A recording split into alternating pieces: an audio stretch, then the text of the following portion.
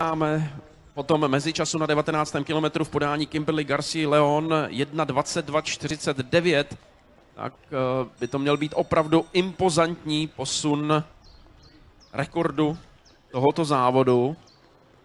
A výsledný čas zhruba 1 hodina 27 minut a 10 sekund. Ale nepředbíhejme.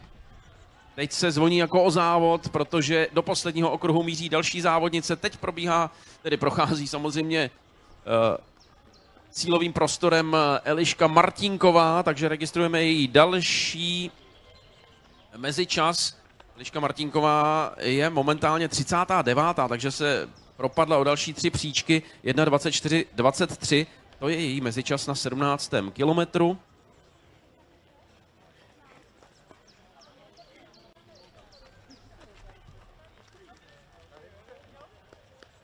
A pro Elišku to bylo zpomalení na posledním kilometru. No na monitoru sledujeme to podstatné, co se děje na kolonádě. Palmizano je stále třetí.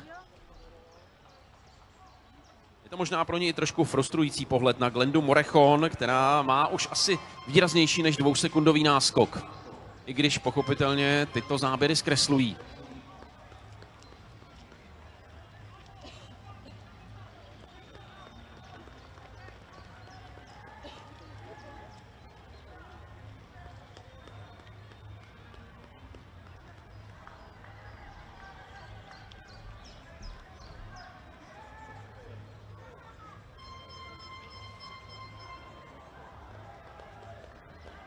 Za trojicí nejlepších, kterými jsou tedy Garcia, Leon Morechon a Palmizano, je na čtvrtém místě dál Aleňa González z Mexika a ten její odstup je 34 sekund, nebo byl právě na metě 19. kilometru. Zbývá opravdu už jenom pár, možná desítek metrů, něco kolem 200 metrů celkem do cíle pro Kimberly Garcia Leon a usiluje o nový traťový rekord tady v Poděbradech.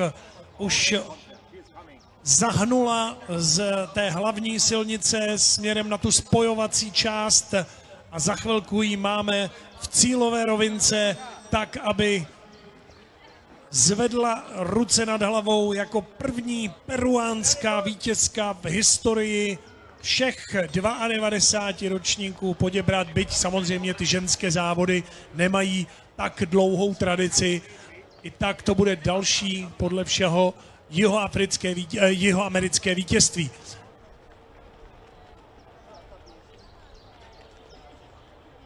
Dámy a pánové, ladies and gentlemen, the winner of the Poděbrady 20 km race, Kimberly Garcia Leon.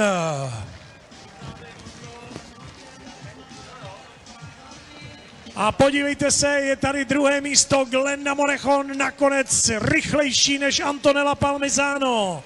And the second place for Glenda Morechon.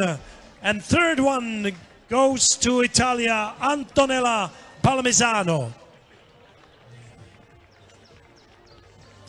Takže pokud to nevíte, toto je poslední peruánský hit, který jsme si vygooglili, aby jsme mohli zahrát uh, vítězce dnešního závodu Kimberly Garcia Leonové k jejímu vítězství.